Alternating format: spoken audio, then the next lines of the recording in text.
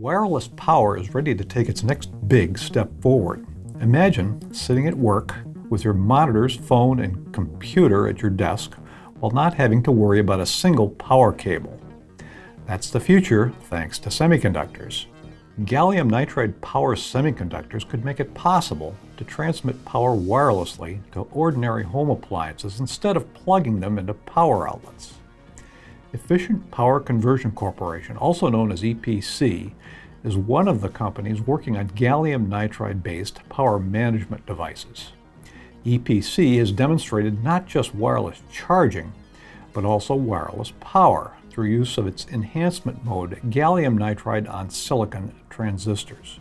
For wireless power, EPC uses a technique called magnetic resonance technology, the same method used for wirelessly charging smartphones and tablets.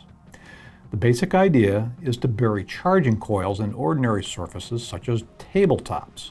Phones, laptops, and even kitchen appliances such as toasters or blenders would also contain pickup coils that would allow them to run from the power provided by the tabletop charge coils.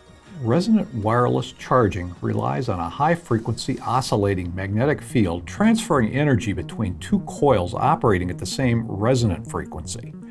Several devices can be charged from a single primary coil, but don't count on running your kitchen appliances from a tabletop anytime soon.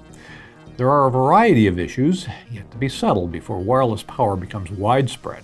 For one thing, there are competing technical standards for wireless power transfer. However, companies like EPC envision a future where the AC cords of today can only be found in exhibits at the Smithsonian Museum. Although cables are still tangling up your life now, fear not. The race to cut the power cord is on. For more videos like these, visit eeworldonline.com and thanks for watching.